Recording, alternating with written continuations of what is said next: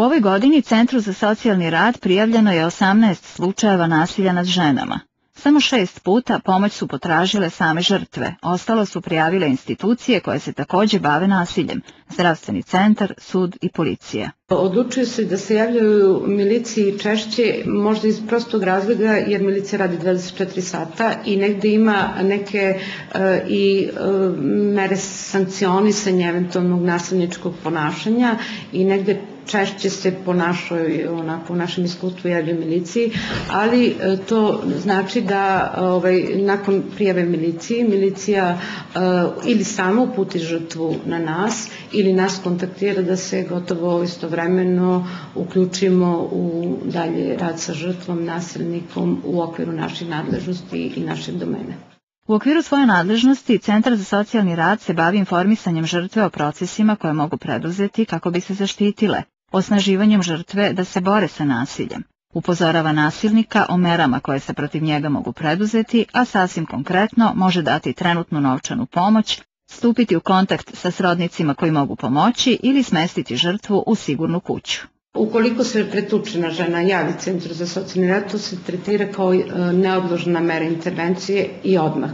Praktično istog dana se snimi situacija i sa uh, žrtvom nasilja plani, pravi plan dalje njene zaštite.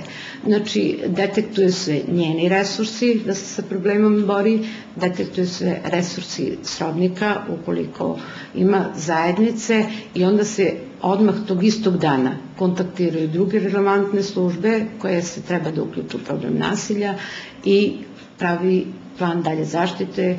Problem nasilja se i u ovoj instituciji, u ovoj ustanovi, a i u drugim vodi po hitnom postupku. Što se tiče socijalne strukture žrtava, tu nema pravila.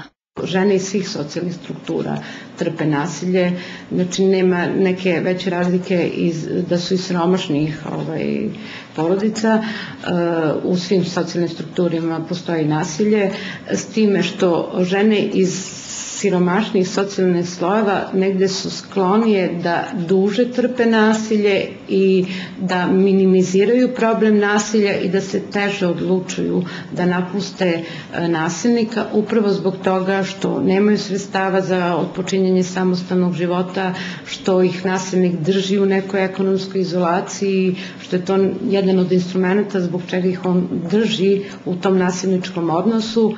Nasilnik je u 90% slučajeva muškarac, starosti od 20 do 50 godina, podjednako u gradu i selu.